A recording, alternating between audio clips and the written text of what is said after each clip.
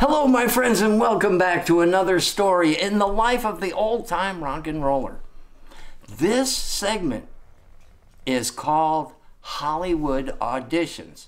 It's about some pretty big auditions I had. I wanna make it with you. Now, do you remember a band called Bread? In the 70s, their breakout album was number one. David Gates. So David was thinking of starting a side project, and he wanted a guitar player and a drummer. He heard about Ty Grimes, and Ty called me, and we went out for the audition. We got to his house, and it was a beautiful place, man, overlooking the Hollywood Hills. He said, You guys go out and set up in the pool room, uh, meaning the swimming pool clubhouse. And we said, Okay. And he said, And I'll be right out. And I, eh, you know, once you're set up. So this was a chance of a lifetime to be in a side project with David Gates. Are you kidding me? So his wife was pregnant. And he came out to the pool room. We, we, we were tuned up. We started to hit the first note. Intercom blast. What is it? Honey, my water just broke. He said, Guys, I'm sorry, I gotta go. My wife's water broke. We gotta go to the hospital. So off they zip. He, they, he said, just pack up and you know shut the door when you when you're done. So that was one we never found out if we got it or not. I guess we didn't because we didn't make a follow up album. But I think that his new child consumed you know, all of his time. Another audition I went on was for Captain Beefheart.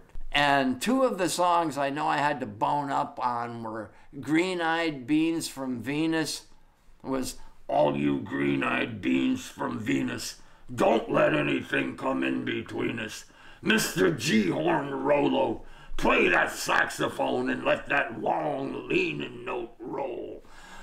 So when I got there, there was a, a music stand that was about a yard long, and there was a score that was about six feet long.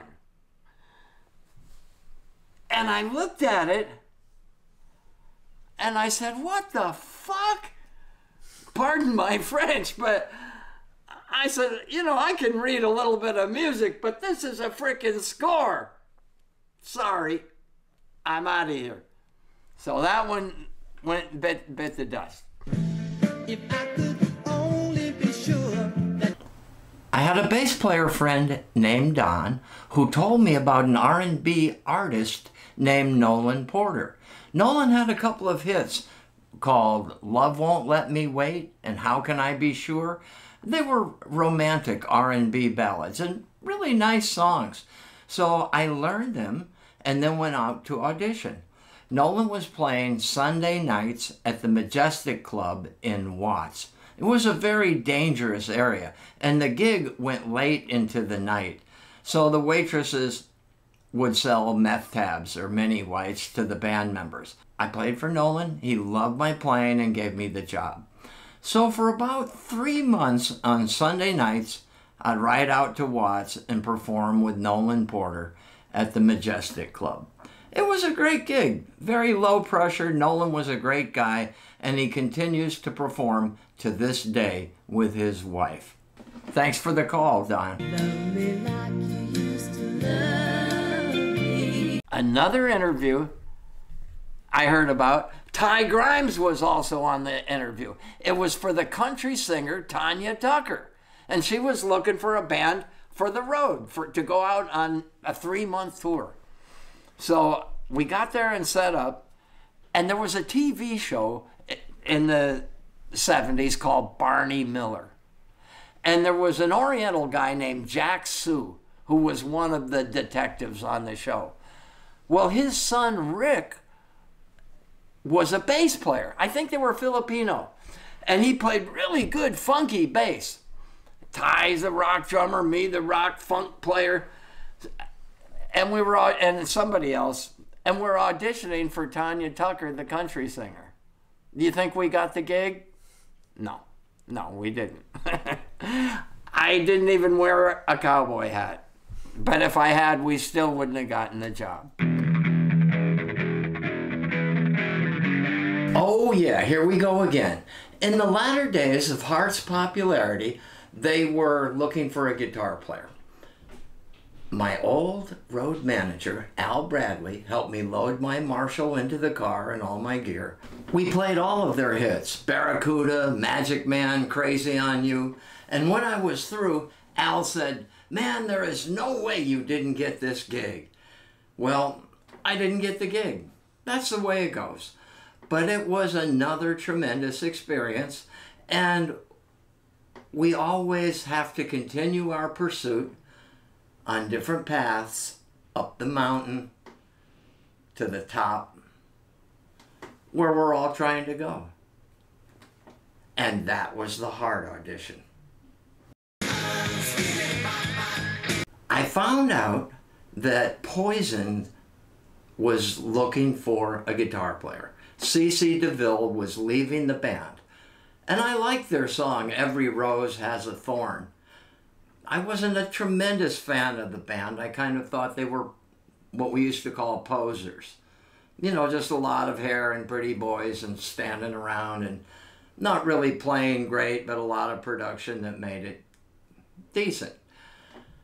Well, this was a different kind of audition because they just wanted you to mail in tracks of you performing. I sent in four really good videotapes of me playing, and I never heard back from the management company because the band decided to get back together. So it was a false alarm, basically. Like Eddie Kendricks said, you just gotta keep on trucking, baby. Chez le bon temps, roulez. Let the good times roll. Because you gotta go through it to get to it, as Larry Graham said. My buddy Peter Glendeman called me from Las Vegas and he said, I'm here with Wayne Cochran and the CC Riders. I've told him all about you and he's willing to offer you a tour of Saudi Arabia. I said, All right, put him on the phone. So he says, Hey, yeah, it's Wayne Cochran. Blah, blah, blah. Yeah, we're playing Saudi Arabia. I said, Well, wh- how long? He says, It's, it's just a three week tour. I said, Well, that sounds fine. He said, "Wh- I said, What? How much does it pay? He said, It's two twenty five a week, and you pay all your expenses. I said, What? Are you f- kidding me? I said, Yeah, I'd love to go to Saudi Arabia, but not for 225 bucks on a bus riding through a desert looking at camels. And it's probably a good thing I didn't go because with the protocol with women and everything, I probably would have gotten in trouble.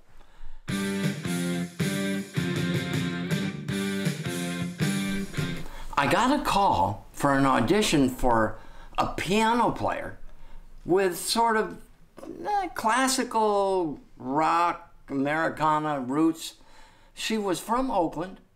She wrote her first song when she was 12 years old for a merit badge in the Girl Scouts. Her name was Holly Penfield, and she had moved down to LA in the mid 70s.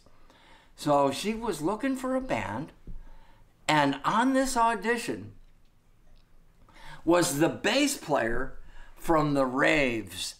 Now, one of my very early videos about meeting Jimi Hendrix in 1965 the raves were opening up for Jimi Hendrix. So I had seen this guy in 65, and now I'm auditioning with him. On the drums was the drummer for the Bobby Fuller Four.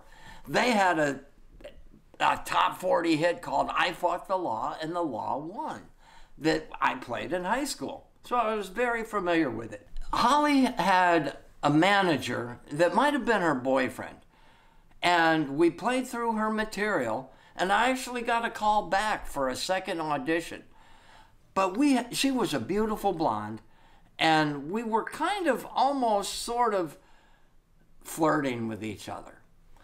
I went back for the second audition and played well, but the boyfriend, manager, handler, I think, picked up on this. Or whatever. Maybe Holly just decided I wasn't the right guy. Either way, I didn't get that job.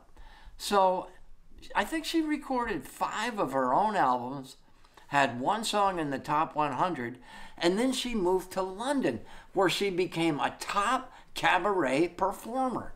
She's still there today, performing and singing the cabaret and also singing her original material at other venues. It's amazing when you find these people that you knew 45 years ago. Another audition I went on that I got the job was for a drummer named Mark David Decker. This guy had the biggest drum set I had ever seen. Uh, It made John Bonham's drum kit look like a, a Tonka toy. And all of his songs were, of course, written around drum rhythms. We rehearsed a couple of months. I learned 12 songs. I think we recorded them. Nothing ever happened. There was no money, and I left that situation. Now, when Terry and I had moved to Kings Road, Mark Levine, our bass player friend, was our roommate, and he lived across the hall from me. We both heard about an audition for Rose Royce, who had the car wash song out, which led to the movie. So this was an audition for a bass player and a drummer. Well, at the last rehearsal for The Force, Bobby Zinner blew it a fuse on his 50 watt Marshall. And I always carried one spare fuse just in case. And I gave it to Bobby. So we're set up, we're with this band. We start off, and on the first E9 chord, my amp popped and it blew a fuse. I went to my kit, opened up the thing, it was gone. I said, Oh no, I lent it to Bobby. Well, there was a guy standing in the wings who was the next guitar player up with the next crew, and his name was Paul Sabu.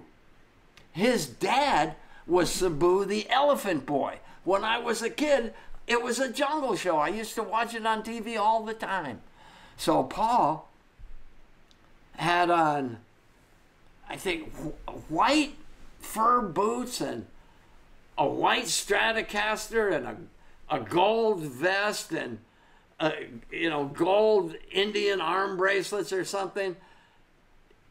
He looked like a a million bucks, honestly. And he got up and played with Mark Levine, my roommate, and they both got the job. So that was just rotten freaking luck. And that was it for the auditions. Sometimes you win and sometimes you lose. So I hope you enjoyed it. It's a little bit, you know, where do you fit something like this in, right? So I said, let me just tell a little story of each one to let you know that no matter how many times you get kicked off the horse, you just got to get back up and try it again. So keep on trying, my friends.